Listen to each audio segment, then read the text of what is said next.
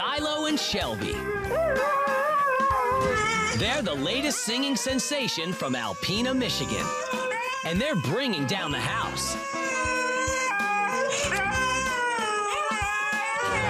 A passing fire truck or even someone humming a tune is enough to launch these two into a full-throated concerto. Be yelling over top of them. All right, stop. You can stop now. And they just ignore us.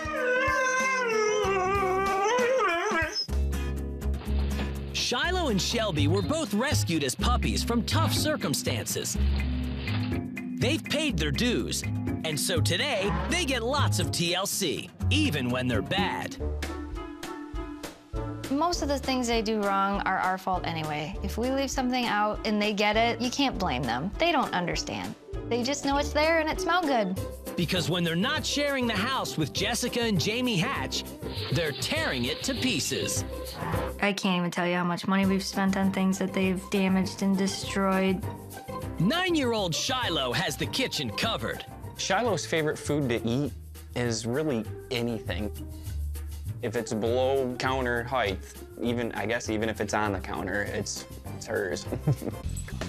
Shelby, her three-year-old partner in crime, specializes in everything from carpets to ornaments.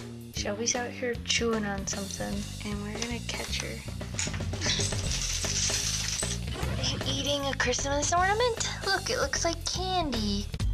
I think the worst thing Shelby ever ate was one of our flash drives for our computer. I was thinking the TV remote. That was kind of scary. She did eat two TV remotes. Now we can turn her on and off, because she ate the power button. Everything is fair game for the dogs. You bad dog. Did you eat that?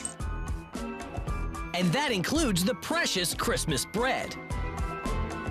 Lovingly baked and sent by Jamie's grandma every year. Look at that. You ate half a loaf of Christmas bread.